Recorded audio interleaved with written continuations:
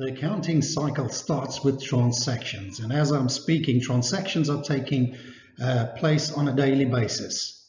Now, the accountant doesn't get a textbook or exam paper to record this. Transactions in the business world are recorded on source documents. For example, the accountant will use check butts, invoices, receipts, cash register summaries, etc. From there, it is recorded in journals. Um, the general journal is one that most junior accounting students use. Uh, other journals could be a cash payment, cash receipts journal, cash or accounting, uh, receivable, accounts payable journals. From there, it's recorded into different ledgers, and most students record this in a general ledger, which is either T form or three column format. From there, you will draw up a trial balance, which is a list of accounts with their balances.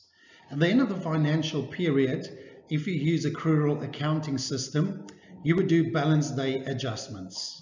You will adjust the accounts and then do financial statements. And the first one you will do is your statement of profit or loss, or also known as income statement. There you determine the profit or the loss that the business made over a specific period. The business will also draw up a statement of financial position, that is our balance sheet. In other words, there we compare assets, owner's equity, plus liabilities.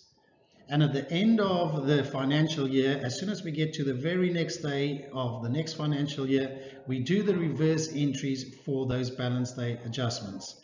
Now, some businesses could also do other statements like a cash flow or a cash budget.